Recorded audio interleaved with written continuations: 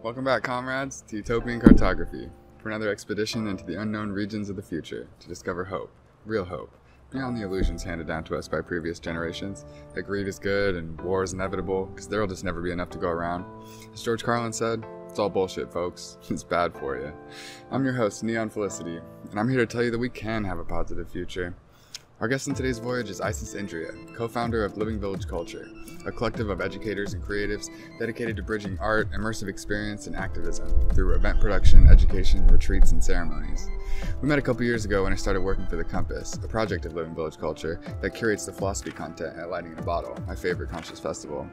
In the conversation you're about to hear, we talk about the ritualistic roots of theater, reaching back to sacred rites in the Horus Temple, where the ancients had a more active relationship with their myths, understanding that they manifest in all of our lives, so it's better to be involved in communion with them, rather than merely as a passive recipient, the way commercial culture renders its consumers. We discuss how we're always creating something, and how the act of ritual is a way of intentionally manifesting the beauty we want to see in the world. We talk about the colonization of prayer and how part of the program was to cut us off from our innate power as vessels for the life force of creation. Now we can relearn an authentic relationship with our own thoughts, words, and deeds. We talk about the nature of a decolonized spirituality and how we can conceptualize God as the chaotic structure of the cosmos itself, which is at the same time a unified system and an incomprehensibly diverse matrix of different densifications of the original light that birthed from nothingness in the beginning of time. We are all unique expressions of this singular divine life force, woven together in a web that we can commune into to help us align our will with the will of the cosmos, so that we may act on behalf of all life and transcend our parochial egotism. we talk about what this esoteric conception of the divine implies about the way we should organize society, she describes some foundational principles for structuring healthy small scale societies around honoring the voices of everyone involved, where things can still actually get done, through a system of councils based around people's particular pathways within the society, their roles in the communal effort of coexistence. I love the way she describes the central importance of art in creating the imaginative space into which a society can evolve. Now, growing our own food not only nourishes our bodies, but teaches us about our relationship with nature itself. She makes the crucial connection between education reform and our ability to reevaluate our value system, which I believe is the single biggest shift that needs to happen for us to achieve a positive future, where we can all have the opportunity to discover and do the work that is our true purpose in this life. We discuss what reconnecting with our ancient history can teach us about our own divinity, and what we need to do to heal our ancestral traumas and create the new perspectives that are necessary for us to achieve real social justice and actually manifest a harmonious world that works for everyone. Finally, we talk about the project of re-inhabiting the village, and how our intentional gatherings and the genuine community bonds they facilitate are so monumentally important for us in this time of great transition. We have to learn from indigenous communities how to be part of the ecosystem again, because they still remember. It was only recently that we forgot. Evolution is the key to a utopian society. The only way to utopia is to reform our education system, to allow people's unique, innate creative intelligence to emerge, and thus manifest a real culture of belonging for us all. So thanks for joining us in this map-making endeavor to envision the path towards a world worth living in. Hi, uh, welcome to Utopian Cartography. Uh, I'm here with visionary curator, transformational experience designer, and decolonial neo-pagan ritual theater director Isis Indriya. Welcome, Isis. Thank you, Neonn. Good to be here. So yeah, um, I guess we'll jump into the philosophy of it all in, in a minute, but I guess you want to tell the audience a little bit about yourself and what you do, and how you got into it, why, and yeah, and your your vision for ritual theater and all of the things you do. Thank you. Um, my name is Isis Indriya, born in Mesa, Arizona, raised on the island of Guam. Uh, I'm currently living in Nevada City. This is the territory of the Nisenan. So I just want to honor all the ancestors here of this land, the Nisenan, and also honor my ancestors, Hafaday, um, my ancestors, or Chamorro ancestors too honor your ancestors and just really acknowledge our ancestors first. I have been in quote event production for the last 20 years. Um, what really led me into event production was through journeying with different medicines and psychedelics. I started seeing little fairy beings and gnomes everywhere, particularly when I was working with psilocybin and mushrooms. I was about 17 years old and I started seeing them everywhere and I wanted to learn more. And I found my way obviously to the dance floor. And so I decided I wanted to start. And at the time, I was studying with the power of myth, Joseph Campbell's work, and Carl Jung, and really getting into mythology, uh, which to me is the way that I choose to live. And so then I started throwing events called Seelie Court, which mm-hmm. was where the fairies and interdimensional beings gathered to dance. And if a human enters, they disappear for 100 years. And so I started throwing events for each of the different fairy tribes because I was seeing them. So I wanted to honor them. And then from that, one day, a dear friend who was throwing events called Starseed, Michael Manahan, he came to me. He said, um, "Would you want to collaborate and do events with me?" And then I brought my, my partner Osiris in, in, and we were given this oracle crystal ball. And from this crystal ball, we started learning about oracular vision work and how to ask the crystal ball and listen and also receive information and give information on how to produce events. So it's really ritual based. And then from there, we created the Oracle Gatherings, which was a 23 card tarot deck. Um, and each event was a tarot card. And we you know, educate workshops and ritual and classes and theater and music all around that archetype. So the community, it took us 10 years, went through a 10 year journey through the archetypes. And this, again, very inspired by Joseph Campbell and mythology. Mm-hmm. And growing up in Guam too, being told legends as a child and you know different places on the island have a legend associated with it and the trees, the, you know the Tautautanos, the Taotaomonas and the trees, and I'm still even remembering the legends and the myths. Really, you know they're come, they still are coming alive in me and around me. And so from the work of the Oracle gatherings, I met Eve and um, we com- came together around ritual theater. It was actually the King's Chamber was the name of the tarot card, and I remember we became friends through our dear friend La, and I asked her to be Sekhmet, which is like full circle because now we work with Sekhmet all the time. You know, it's just interesting how things unfold, mm-hmm. and that's how our relationship began. And um, we started doing ritual theater. She was doing events in San Francisco too, so we were both doing event production. We were also both Kabbalah students. She was doing more Jewish mysticism. I was doing more Hermetic Kabbalah through one of my teachers, William J. Kiesel. And we came together around ritual theater. And I feel like now it's, you know, it's definitely over 15 years.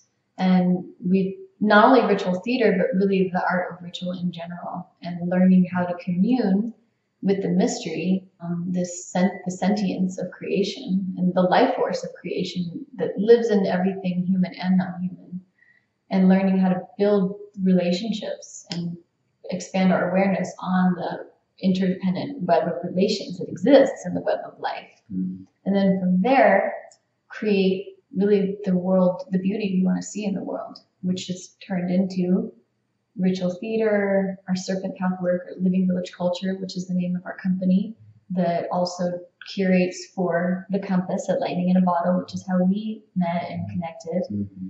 That really is about conscious education, curation, um, music, performance that has a very specific intention and ritual associated to it, and the really learning from our elders and wisdom keepers so that we can give something in a good way or offer something that's on behalf of our time for future generations to come, you know, and then really centered around the fire and the water.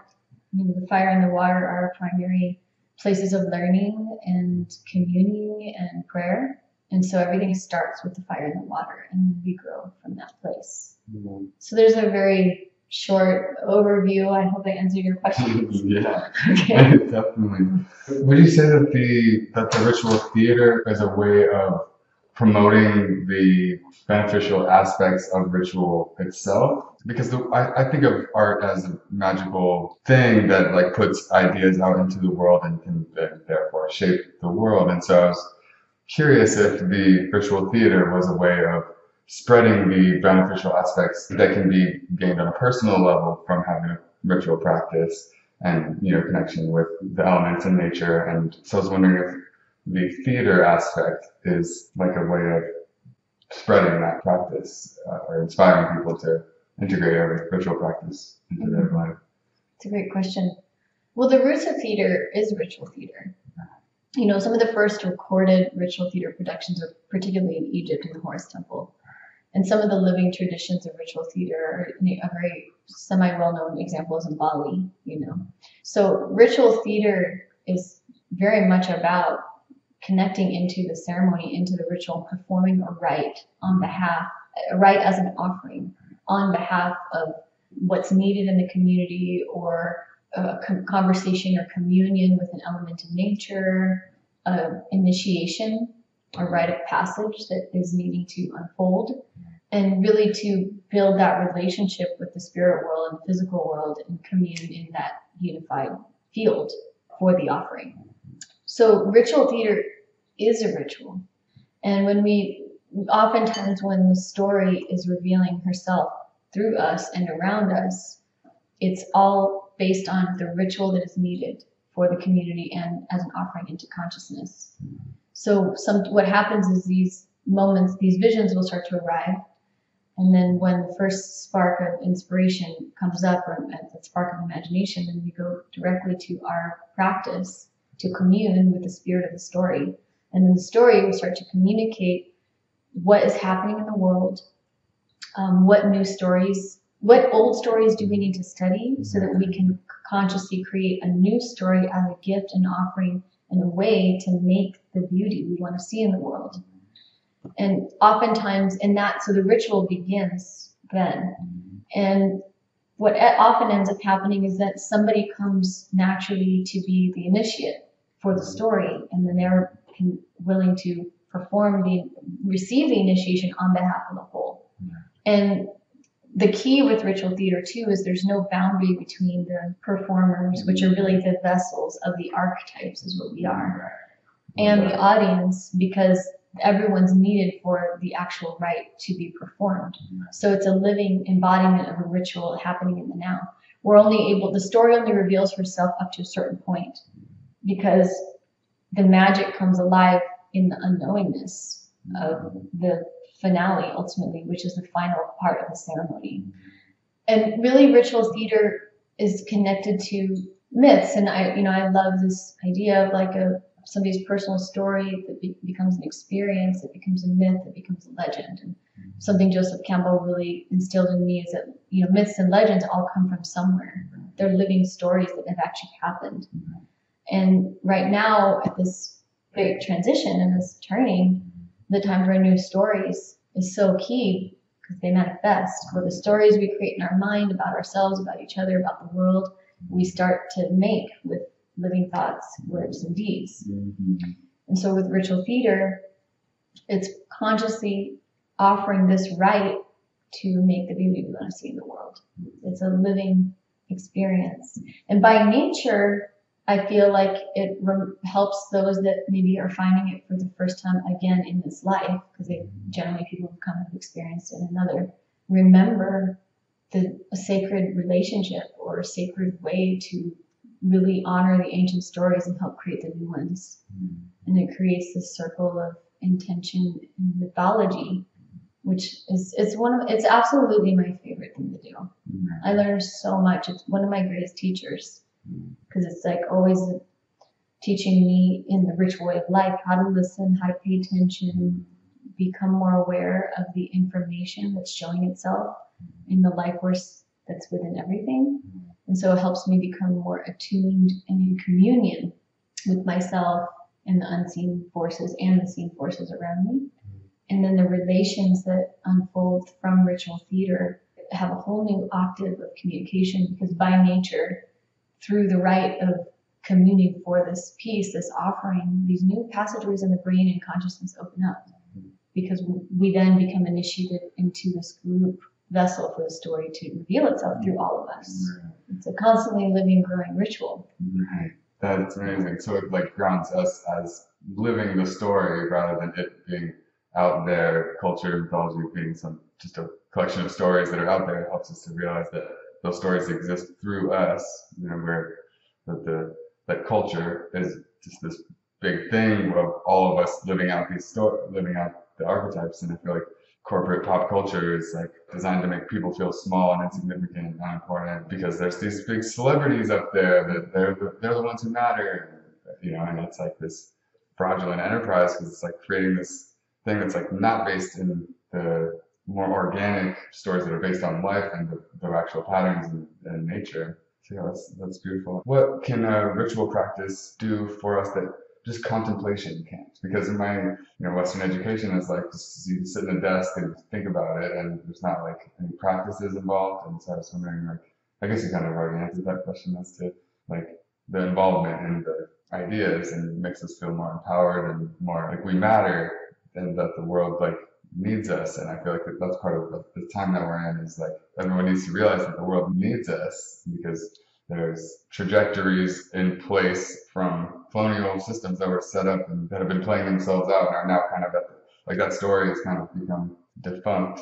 And so it's like we're, we're trying to figure out how to create a new story. It's like colonialism like wiped out all the stories of us being a part of it and just like replaced it with this story of you're just a servant of this king of the universe. There's this one God, and he has this one church, and it's a big hierarchy. And well, I one thought, one thing I could offer that I said, and I can say a little bit more about is um how I see it is, you know, we're always creating something. We're always moving forward. Mm-hmm. You know, we learn, um, hopefully, learn from the past, learn from where we came from, and then that experience helps us in manifesting in a good way. But something I've been taught quite a bit and sort of distilled my own format from is from the spark of imagination that becomes thought. Mm-hmm. That's the first step in manifestation, mm-hmm. contemplation, thought. From thought, there's the word, the deed, the habit, the behavior, you know, the word, the action, the deed, the habit, the behavior that becomes destiny. So there's this like line of manifestation of creation. And in ritual, the difference I find from contemplation and ritual, because ritual is performing an act with intention and performing an act with an awareness of the relationship of the human and the non-human world. Mm-hmm. And in, and also the brings in the art of tending. So we're tending to our thoughts through the art of manifestation. Because, you know, the, the Tibetan Shambhala prophecy talks a lot about how, you know, the world is manomaya, that it's made by the human mind and unmade by the human mind. Of course, with the heart. I'm going to always acknowledge the heart. I, I kind of see the heart and the mind always working together in that way. We allow it. so, ritual is performing the act, making the beauty one wants to see in the world with intention in a sacred container and, and creating a sacred environment, a, a space for that. And then it's a, an art form of communion with the divine. Mm-hmm.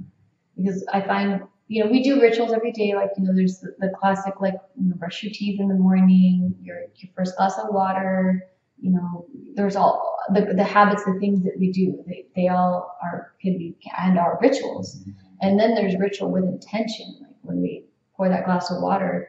Greetings to you, holy water. Thank you for my life. Thank you for that that you are life. That I come from you. You know how you talk to the water. You know, there's a lot going on about Emoto's work with water.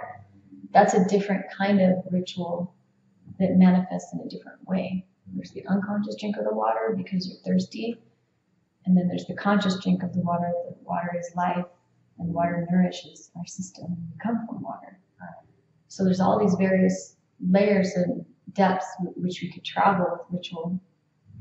Contemplation, I find, is a tapping into the like web of consciousness, yeah. this like field of conversation in a way, and this net.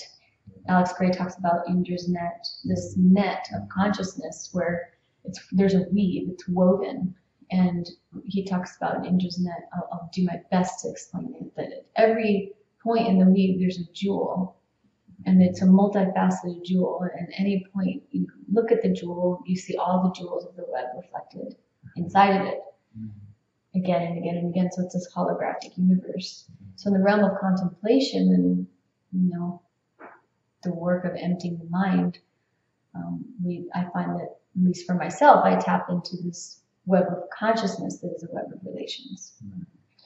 And that in itself is a ritual. And then the act part when I when I learning in that place and tapping into this field, the act of the ritual is manifesting consciously a communion, an offering building a relationship, a dedication, devotion in a sacred way. That's how I like to Right. commune. Right. Yeah, that makes sense. That's beautiful. and that, that concept of tending to it is was a that was a big uh, light bulb for me at, at, at your workshop. At LIB in the art ritual because I've, I've heard you refer to the technology of prayer, and it, at first I didn't quite understand the way in which it could be a technology, but then the, the way that you I love that line of manifestation that you described because that's how I think of magic is a, a way to set things in motion, like consciously setting in motion manifestation, like of, like making things happen. And our minds are doing so much subconsciously that I feel like if prayer is able to organize our thoughts around, if, if it's like setting in motion our subconscious processes towards trying to figure out how to realize some desired goal, and because the reason I'm super interested in it is because so much needs to happen right now because so much is under threat. Like the ecosystem is collapsing, and and then, you know it's kind of become a a punchline that you know politicians you know when there's sh- shooting or a natural disaster, some politicians will say, "Oh, thoughts and prayers." So it's been kind of like a way of not actually doing the things that could help to solve problems. And so I, I was wondering about your thoughts on like how that happened. Like, was, it the church that you know? Colonized prayer. Yes. I absolutely feel like the term prayer and the act of prayer has been colonized Right. and it's confusing people Right. and taking people away from their own power and their own connection to the divine and the life force of creation. I absolutely think that's what's happening and has been happening. Absolutely. And actually, my really dear friend Vita Majd Mhm. Watson, Mhm. We talk a lot about prayer. And um, at one point, I was like, Vita, would, would you please do a talk on the technology of prayer? And she was like, okay. And then I Mhm. remember she went on this incredible multi-year really journey of studying prayer and has come up with this incredible talk Right. on the technology of prayer. And she did just did 2.0 this year. Right. So I really want to honor her right now and you know say that she's done a lot of actual scientific research on the technology of prayer. Right. And so I want to bring her up here now. Mhm. Highly recommend checking her out. Prayer to me, because the colonization of prayer and how prayer works, I feel like has been part of the programming Right. to essentially steer us away from our own innate relationship to ourselves as vessels for the life force of creation to move through us Mhm. and ourselves and our connection to the elements of life and the elements of creation and our relation to the sacred and to these benevolent life force energies that are here to be of service with us you know? And so prayer kind of because of what these various religions have done people hear the term prayer they're more alternative and they kind of cringe because and naturally. Mhm. and so part of my prayer has been to decolonize the term prayer and really help to bring out the true or you know the an, authentic relationship with prayer because everyone has their own authentic way but an authentic way of relating to one's own thoughts words and deeds and how that comes into manifestation. Pause. On that note of decolonizing prayer, I was wondering, is part of the problem monotheism? Because well, I've been trying to, I've been struggling because I was, I was raised Catholic and went to a Catholic high school and took all these theology classes and, you know, left the faith because I determined that it was an insufficient explanation of, of the world. And then so I've, I've been wondering recently to what extent it's the yeah, like uh, Vandana Shiva called it um, monoculture of the mind. The whole idea of like that there's just this. That's why I, I call it. I call it the you know, the king of the cosmos. You know, jokingly because it's like all the wisdom traditions of the world have all these different archetypes and like honor all the different archetypes. But then it's like Christianity and the Abrahamic monotheisms. Like there's just this one guy, you know, with a beard and you know everything has to go through that and so i was wondering if part of the the decolonization of spirituality would be a retreat from this supposition that there's just there's that, that there's just one God. But on the other hand, you know, I like I, I do think of like everything as like the universe as being unified. So like when I think of God and I think about the universe as this like single system that you know is all you know connected to itself. And so I'm like, should I be thinking of that as God? I don't know. I'm just I'm so like torn about this like concept of God because so many people that I respect have more expansive conceptions of it. And so I'm trying to figure out what is the healthiest conception of God. And because part of this, the whole utopian cartography project is trying to figure out how we get to a better world. And religion is a major organizing institution and, and cultural train of thought.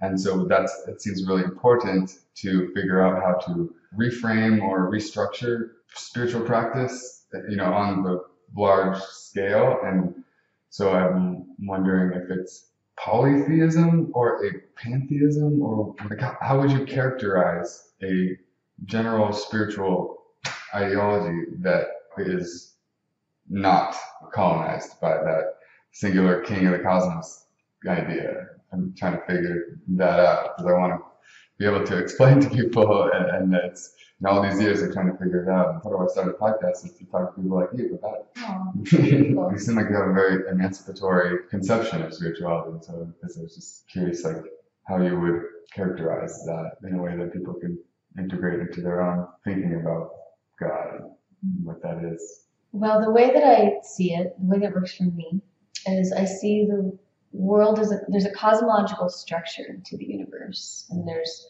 an order and chaos. So everything is what Joel Levy and Shel Levy would refer to as chaordic.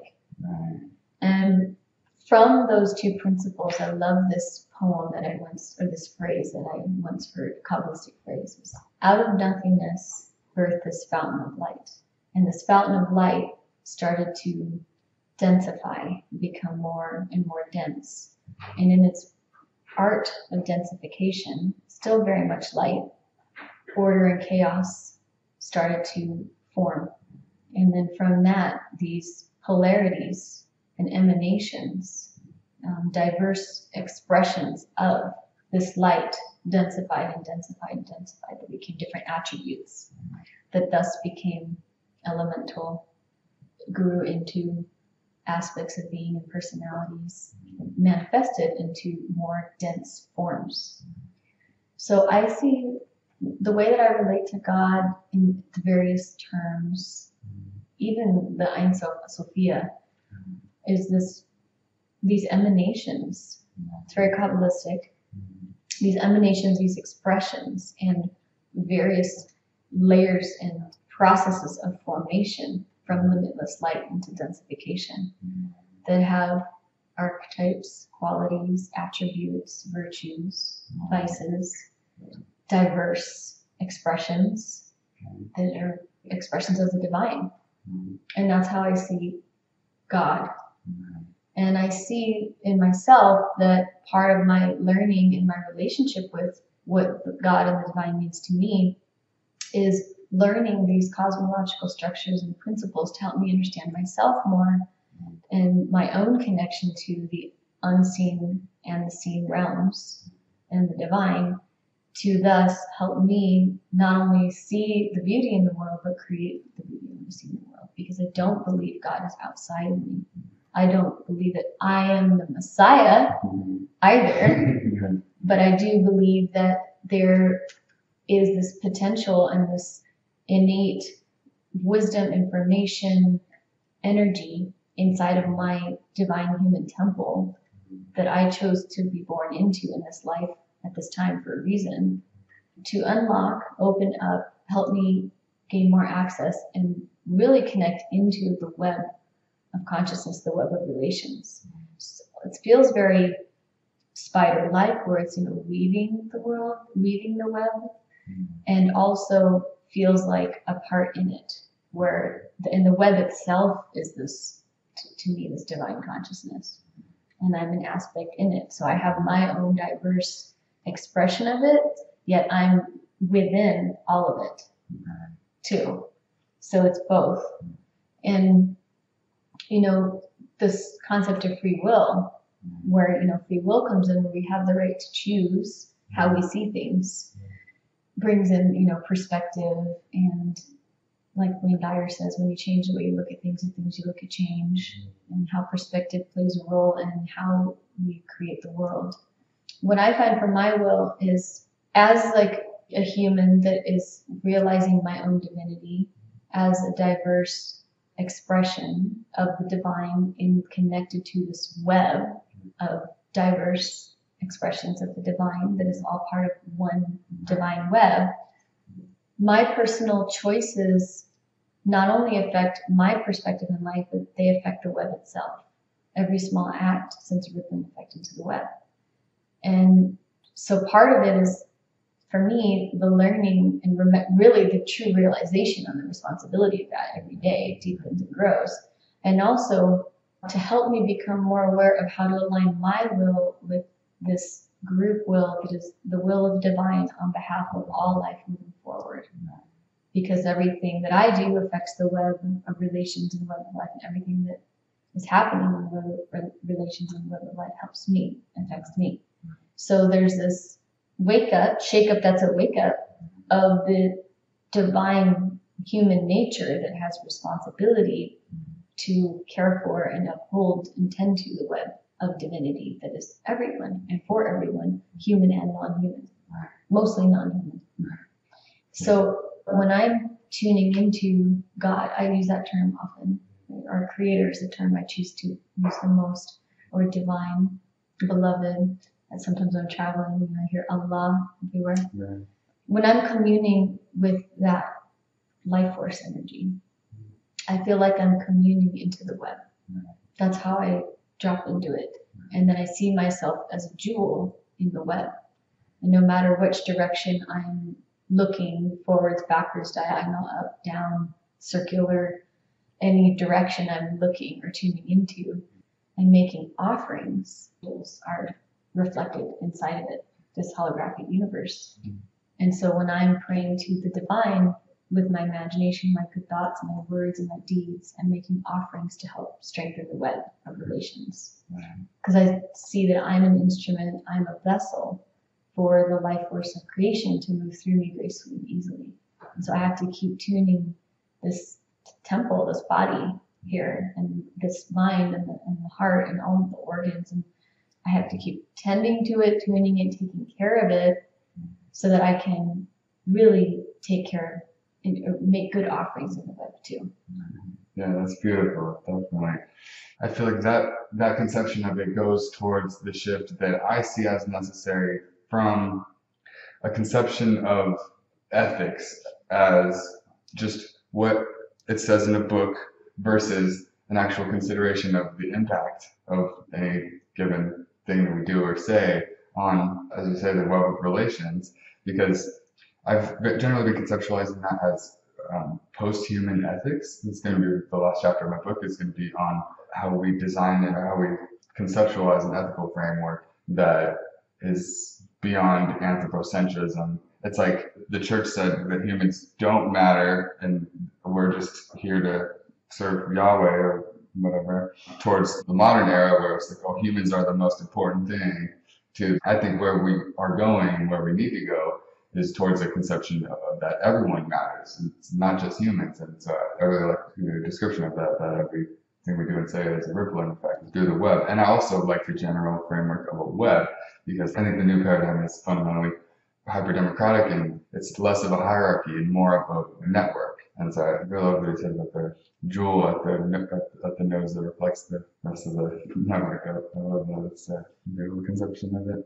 So, what do you think that conception of the divine and our relationship with it implies about the way we organize society? Because part of what's organizing our society now is this hierarchy where you know God supposedly put some people in charge and that's why they're in charge, as opposed to like considering the fact that they just did some conniving shit to get there. So i was wondering, like, what do you think a more post-anthropocentric conception of God and ethics would say about or, the way we organize our society and set up our economy and the civic structures. A lot of it is so anthropocentric that I've been trying to figure out how the society will be structured such that, because I do think that we'll get to a point where, you know, we, we still have human rights crises going on, but like, I think eventually we'll get to a point where animal rights will be much more prominent. And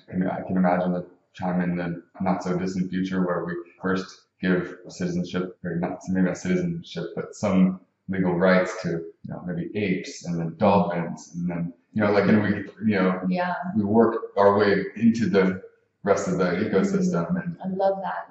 And so I was wondering if you had any thoughts on that. On what are some ways to organize a new society? Yeah. Okay. Well, I mean that's a big question. Mm-hmm. Right. I you know I feel like I'm still learning, but I can share how I feel at the moment. Yeah. I'm sure it'll evolve tomorrow and next Right. week and next month and forever. Right. Um, something that I find really interesting is Damanhur. I went with my ex-partner many years ago for an intentional communities conference because I, for a while, I was really studying intentional communities, and um, there was a couple things about the way they organize their community that I had never heard before. I'm sure it's happening elsewhere, but at least share these ideas. Well, first off, I feel like societies where everyone actually has a voice by nature are going to need to be smaller because the reality of everyone having a voice being heard, I feel like beyond maybe I don't really know the statistics, but beyond 600 to 1,000, I feel like is, is kind of unrealistic. You know, Yeah. maybe I'm I could be wrong. I hope I'm wrong, but that's sort of how that is how I feel about it at this moment. So I feel like values and relations of some spiritual connection is key and primary that everyone somewhat agrees upon. Mm. A way to like come back to the sacred in some fashion in that particular society is necessary.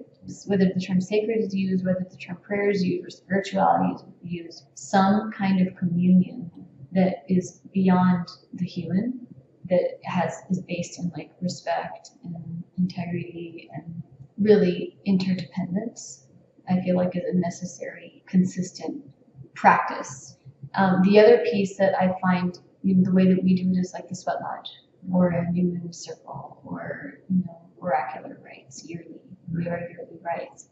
The other thing i find is really interesting and important and so Damanhur does that. I'll get back to Damanhur in a second i'm going to scoop, scoop over here is the, in an ancient Egyptian tradition, it is shared in stories that there were these 42 ideals of Ma'at, and it was an internal system of checks and balances. And in their stories and in their belief structure, that when the body died and the soul was on its journey into the afterlife to meet Osiris, their heart, the heart of the soul, was weighed with the feather of justice and harmony of Ma'at on the scale, tended to by Anubis, and it was weighed against the 42 ideals. Then they had the chance for the 42 confessions. And the, the goal is that the heart is lighter than the feather, and then the soul passes into the afterlife. If the heart is heavier than the feather, then the soul gets eaten again by the hippopotamus crocodile and then goes back and has to do new life Yeah. that to me is really interesting because everyone's raised with these or then was raised with these 42 ideals this internal system of checks and balances. And with the awareness that when death came or eternal life this was going to be your quote judgment day. Right. but what it did it create it, uh, what i believe and what i'm doing my best to follow now creates this self-checking Mhm. system that is um, had things like I keep my own counsel, I, I respect the property of others, um, I speak positively of others, Mhm. I honor animals with reverence, I keep the waters pure. Mhm. You know, there's 42 of them. And a lot of it is reverence of self, reverence of the group, and resident reverence of the life force of creation. Like that, an internal system of checks and balances for self awareness is key. A group agreement around some sort of connection to the sacred that's human and non-human that's coming from a place of reverence respect integrity care on behalf of all beings and then a process of decision making where all the voices are included in a way where things can actually get done also. That's the challenge. And this is where Damanhur comes in. This is something I thought was really interesting. We haven't quite, quite practiced this yet. I'm looking forward to actually experimenting with this. Mm. From what I understand, the limited amount that I understand at this point, was that their community is divided into you, make a commitment when you commit to join the community. For two years, you're going to be in service to one of the eight pathways of education, whether it was like a regular pathway or building mm-hmm. or farming or whatever it was. Mm-hmm. You make a two year commitment. Again, this might have changed. This was like 20 years ago. So I'm just going to speak what I remember. And then in that two year period, you have a council that's related to that part or that pathway of the society and it, where everyone counsels.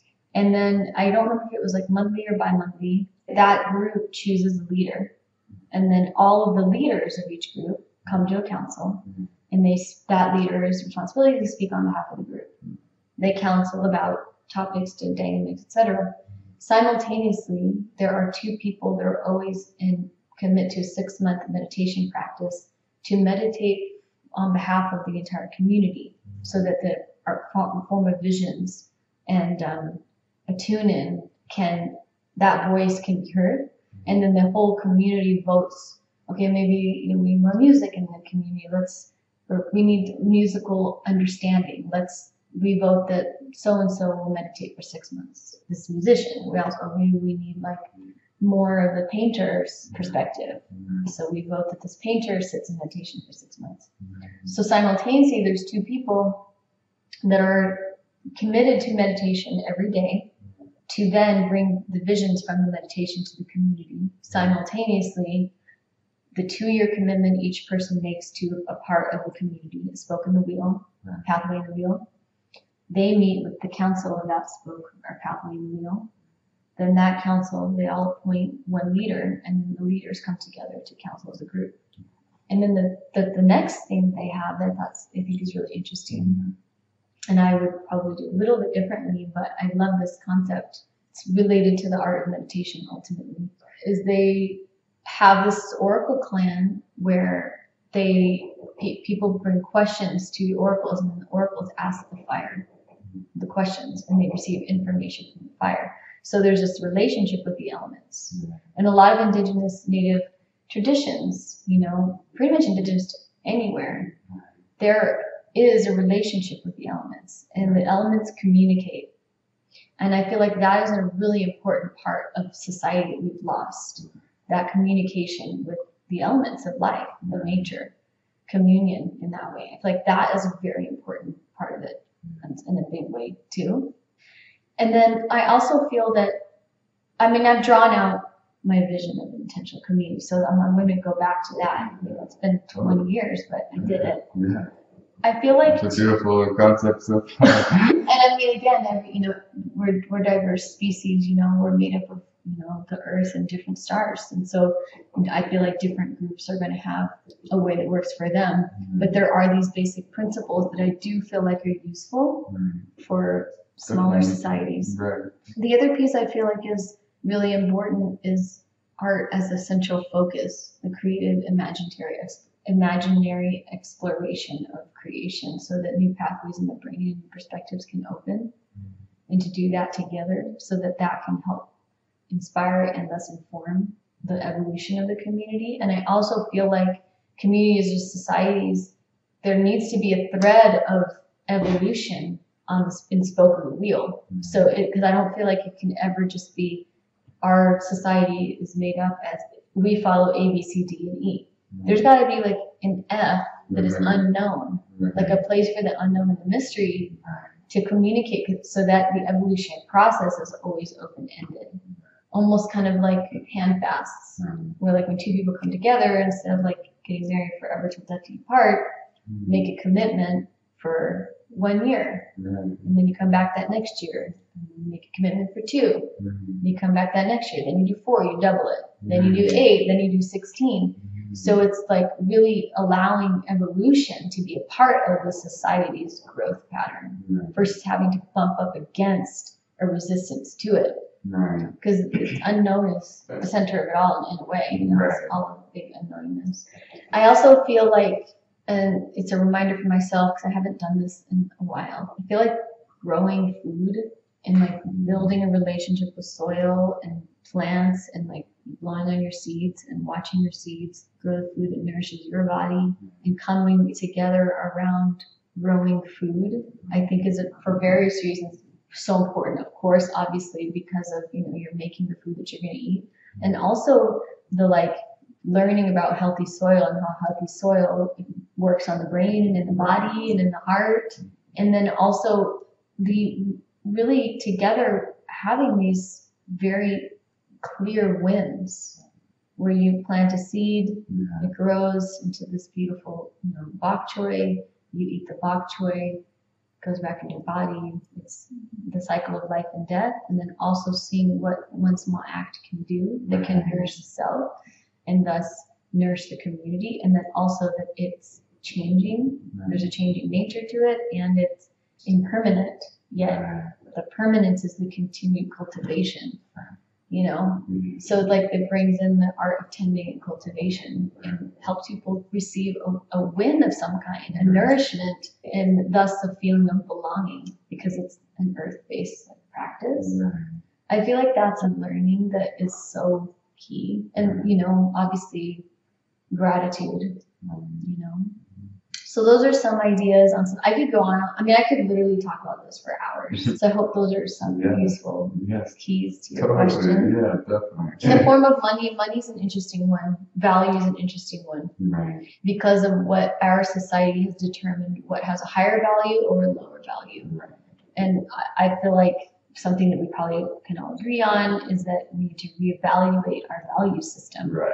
And you know, labor and time and money and energy and mm-hmm. how that all works because everyone's diverse, everyone does things a little bit differently. Our education system obviously has been a programming dynamic, and so we're being forced to do things in our, our true nature and our not our purpose work, and so we're not able to really come forward with our full energy in a way that feels natural because it's not. Mm-hmm. You know, so there's obviously an entire education reform at play mm-hmm. that will is necessary for us to reevaluate our value systems yeah. to then create an equanimous society that is based in people doing what they're really here to do, right. why they chose to be born at this time. Right.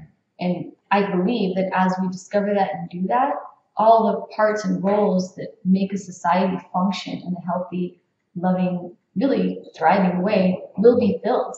Right you know, but part of the journey is discovering our purpose work and feeling the support and the really the worthiness and that there's enough to go around to actually do that.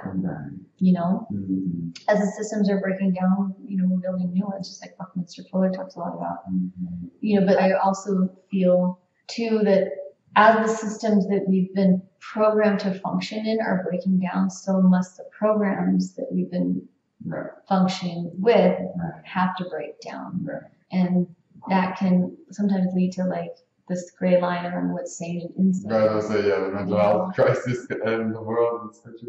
Yeah. It's a big moment for our species. It's we're in a huge moment. Right. Yeah, I feel like we've been here before, just looked a looked different. Right. Yeah, totally. So those are some of my thoughts on the question. yeah, yeah, that's amazing. Yeah, because I was gonna say about the disconnection from the process of growing our own food. Part of that was the education system. It was like this forced process where they had to train people how to sit in a factory and just like just make one part of a widget over and over and mm. over and over again all day. And so I feel like we set up a, this education system, which like is what installs you know our primary culture into our minds. It, it, it's obsolete because it was designed for a previous time before we I don't know, like back when we first started inventing factories, and they're like, "Hey, we need some workers in here," but nobody wants to sit still. But... Such a big one. We talk about that one all day. right. No. Mm-hmm. I have to go. oh no. Let me. Oh, time flew. Oh wow. Hold on a second. I could keep talking with you though. Should I just have this call real quick and then see where we're at? Sure. Yeah. Does that work for you? Yeah. Okay. So I see a big part of the problem that we're facing now as historical amnesia. Like people don't know where we came from, and so they're vulnerable to believing big lies about like who matters and what matters, and you know, like because people don't know what got us here. And so I was uh, wondering your thoughts on like what reconnecting with our ancient past can tell us about the future and how we should go forward because it seems like we're stuck at an impasse because we don't know the long story that we've been evolving from. I mean, I am a huge student of ancient civilizations for the very reason of, you know, I feel like the lack of awareness or understanding of our true history is a big part of how colonization, what it's done and continuing to do. Because if we don't know who we really are or where we come from, we don't understand really our own innate intelligence and really the depth of pathways in our body and the wisdom and the water in the body and all those things, and thus don't know how to move forward in a good way. I really feel like there has been a colonization or, or a plan, a program to basically shut down a lot of passages in the brain and access to the intelligence stored in our DNA and our body systems. And at this time when all of these things are being uncovered, like technologies or tech, really technologies have always been there, but we've been colonized to believe that or understand that there's something different than that they actually are, like the Great Pyramid as an example. Mm-hmm. As more of a true understanding of these ancient structures and these artifacts and these myths and these stories are really being revealed everything we've ever thought we are or who we are or where we come from is changing and going to keep changing. And thus we're going to learn more about our ancestry that shows us actually really our divinity and helps us gain more access to the innate wisdom and intelligence inside the body to then help us create more passageways and perspectives to thus create the new innovative ways of living and being and technologies for the future. We got to go back into the past, to learn, heal, do the ancestral healing that we haven't done, take care of ourselves and our lineage backwards, thus, so that forward, we're creating a good pathway forward. I feel like so much has, so many artifacts and temples and scrolls like Alexandria had been destroyed on purpose. Mm-hmm. And that has been a primary way to keep us shrouded or cloud and clouded and ignorant. And all of that's changing. I really believe all of that's changing in a way with sort of the all these new tech, the technological advancement of this time mm-hmm. is obviously there's shadow aspects to it, but the positive aspects to it is it's helping us see things and uncover things that have been hidden, right. consciously hidden, as you know.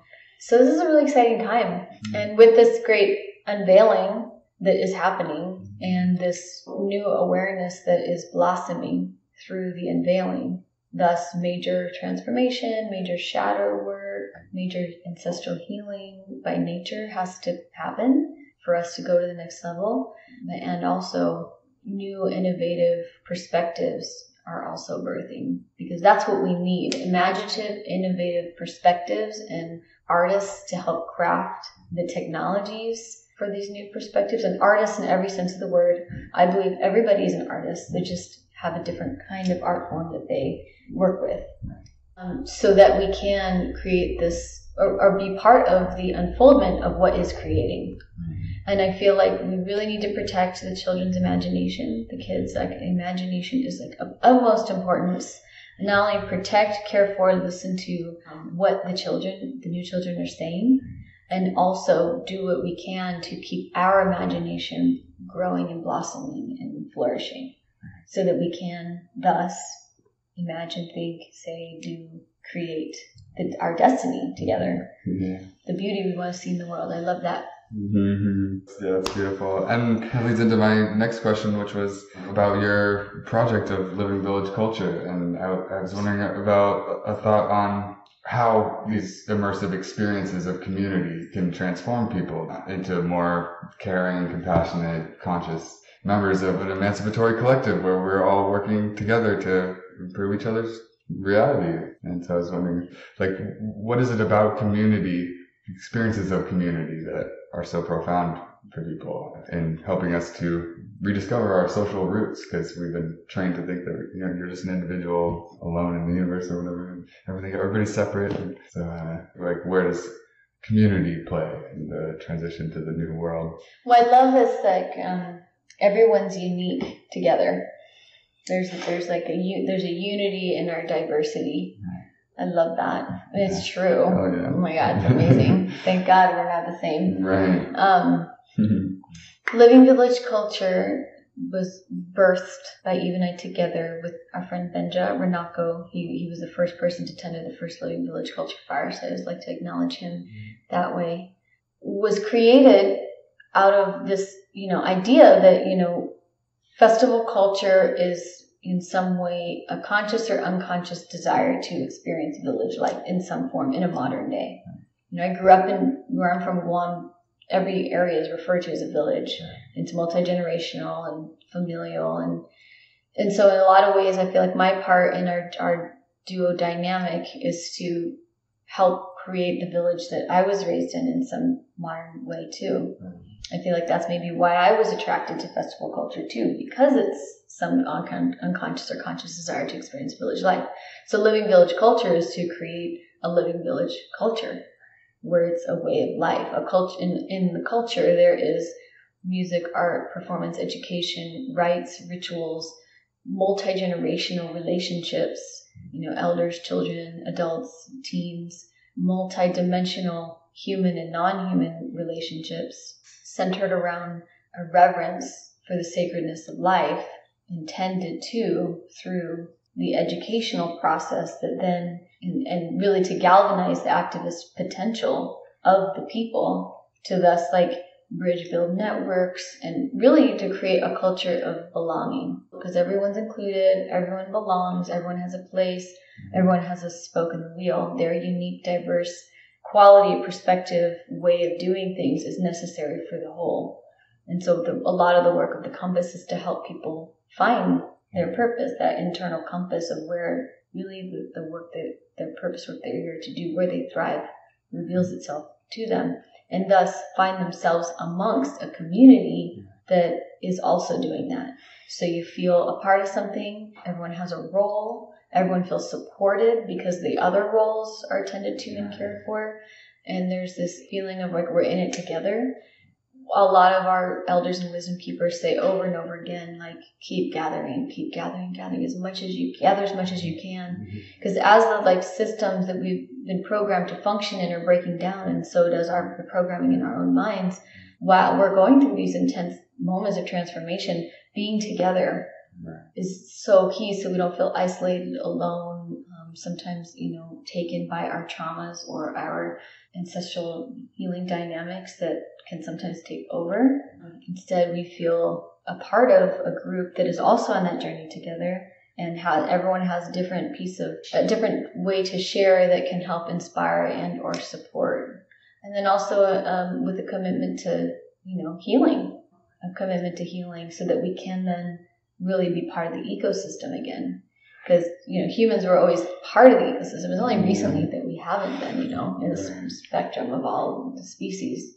Many times that we have lived here and some survived the floods and then repopulated. Like a lot of the ancients believe this has happened many times. Mm-hmm. And we're, I feel like, the youngest we've ever been as a species. And a lot of these indigenous communities and frontline communities really are still part of the ecosystem. They know how to tend to the ecosystem. We've just forgotten, you know, and part of the healing and the focus on ancestral healing and the caring of self and the caring of each other is to take care of ourselves so that these traumas and dynamics aren't clouding our ability to remember what it means to be part of the ecosystem again and thus take the time to learn. Um, I feel like the only way that our species obviously is going to survive is if we become part of the ecosystem again. And really, the need to survive also needs to be freed up. Mm-hmm. Because, you know, the will to live at the cost of everything else living, this crazy program that we're in also needs to change like this healthy relationship with the cycle of life and death and that you know every passing of a life every death feeds another life we're just part of this eternal cycle and that you know I'm food for and nourishment for another life form, and that feeling good, part of the reciprocal flow of you know life and creation. I feel like a healthy relationship with death is a big part of it too, mm-hmm.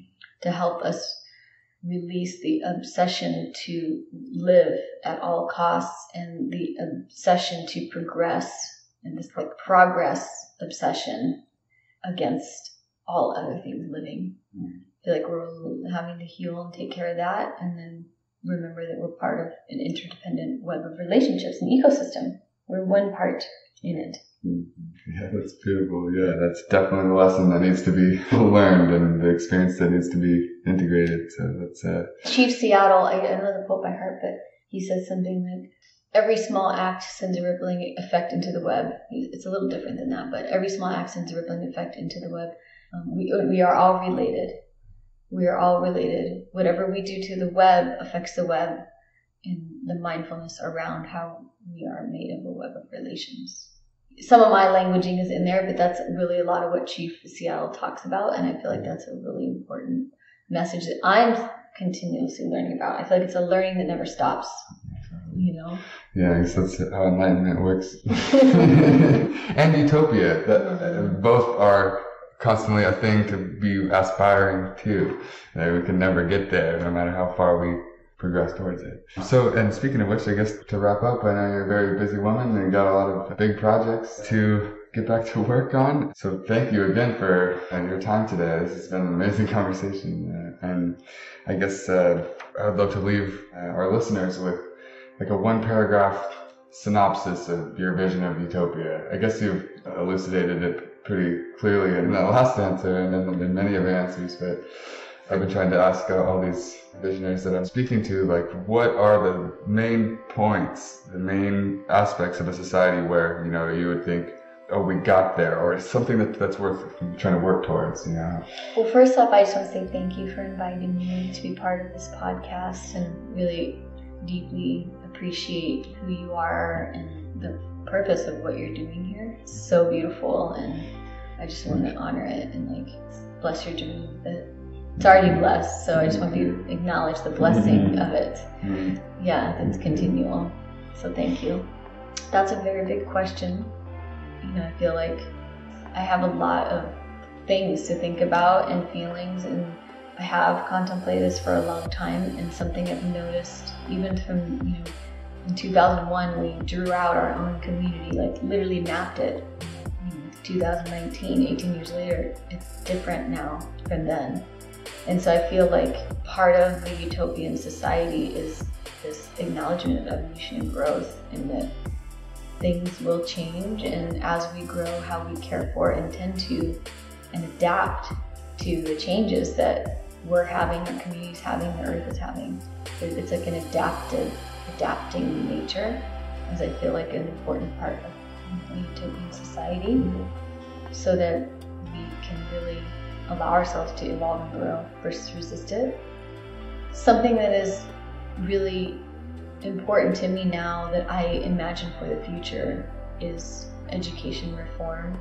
And I'm so sensitive to use this term because I do feel like this term has also been colonized, but I am a big fan of the mystery schools from the past and that the kinds of education that we're a part of these mystery schools, older ones. I don't know very many modern day ones that still do that. Um, I feel like I am in service to recreating at this time. Um, I feel like when we create an environment for new educational platforms and thus people's individual intelligence, unique artistic perspective, and purpose um, in the nature of crafting the reality we want to see in the world. Once we start to do that, as we're doing that, really the vision of a utopic society that is made up of everyone's vision can unfold because it's multiple perspectives that make it utopic because everyone's included, everyone belongs, everyone has a role. So I'm only one thread, one jewel in the matrix of it. And so I feel like these schools are a beginning for me you gotta answer that. Man, I could talk about this forever. Hmm. really. Have to have you back on. I would love it. I mean, because now I'm like, after I just said that, there's like